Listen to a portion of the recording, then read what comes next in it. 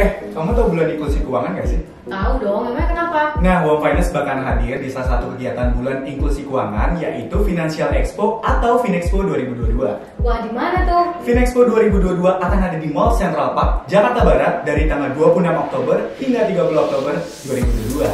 Wih, kalau aku datang ke sana, kira-kira aku bisa dapat apa aja sih? Banyak banget karena di sana akan ada promo. Gak cuman promo, akan ada door prize dari Wong Finance. Kayaknya seru ya. Aku pasti deh datang ke sana. Yuk ramaikan booth Wong Finance. Di Finexpo 2022. See you!